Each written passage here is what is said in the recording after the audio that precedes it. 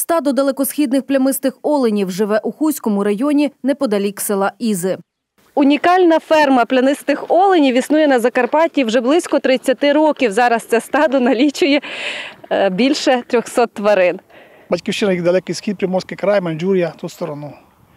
Вони, бачите, тут прижилися вже нормально, розположуються. Тепер вже в кінці черги десь по одна штука буде, а в липні вже піде масово кот у нас тут.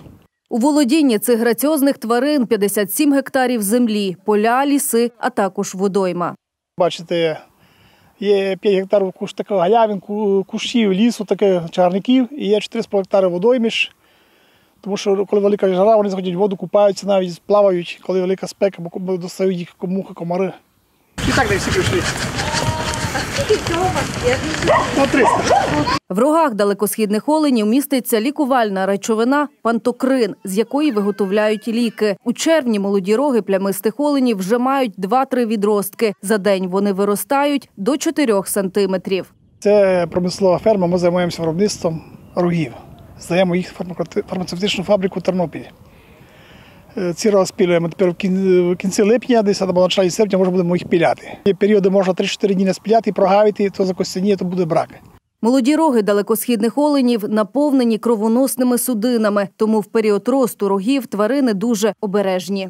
Десь їх бачите, ростуть роги. Ці роги це такі ранимі. Якщо цей ріг він зламає, дай Боже, він за пару хвилин стече кров'ю.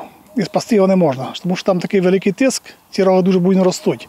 Він це розуміє. А ось осінню, в листопаді, в грудні, коли вони проходять бої, от тоді вже буває на смерть б'ються. А тоді вони б'ються за самок. Да, тоді гарема собі роблять, тоді в них роги. Вони ж робляться там кістка. Це страшна зброя в них.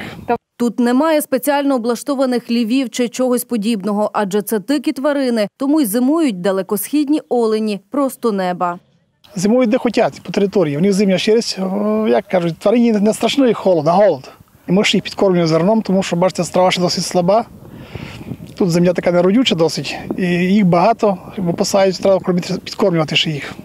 Приїздять подивитися на плямистих оленів люди з усіх куточків України і навіть із-за кордону. Найбільше захоплюються тваринами діти. Оленів малеча може навіть погодувати. така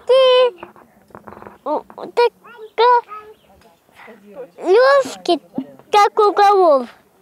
Они так мекают, ест і мекають. Я на оленій фермі, мене сюди привела мама. Привела мама. Мам, мені більше всього подобається олені. Я зараз в Яноші. проїздом кожен раз заїжджаємо. ой, ой, ой. Отпускай міра.